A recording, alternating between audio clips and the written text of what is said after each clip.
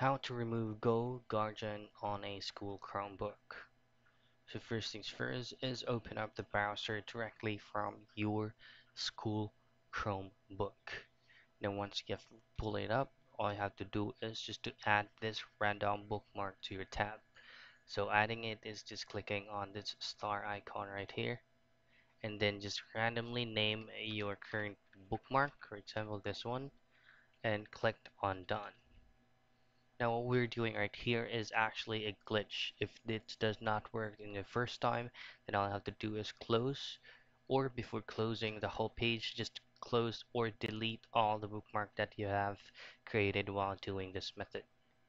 So once you have added this random bookmark to your tab, then go ahead and pull up the tab or the bookmark that you created. Now search on any uh, whatever type that you want to use and then just go back again refresh the page and that's how you do the glitch on removing the GoGuardian on a school Chromebook.